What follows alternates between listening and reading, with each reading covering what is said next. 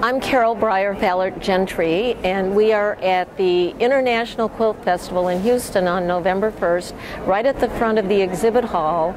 And I'm lucky enough this year to have a solo exhibition at the International Quilt Festival.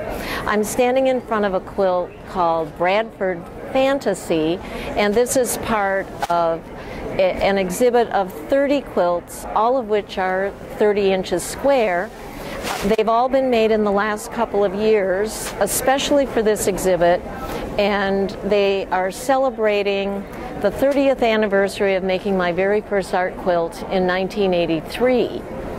So the quilt behind me was inspired by leaves that fell off a tree a block from my studio in Paducah, Kentucky.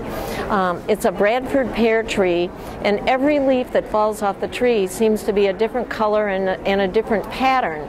So I picked up one of the leaves and scanned it on my flatbed scanner and started blowing it up and drawing the design of the patterns in the leaf, the color shifts, and also the veins in the leaf and um, and then I simplified it, and then I junked it up a little bit more, and made it out of my gradations fabric that I designed for Benartex. So the luminosity that you see in it is all created with light to dark gradations, and then the brilliant colors are pretty much the colors of the leaf. In my little statement here, I've included a picture of the real leaf.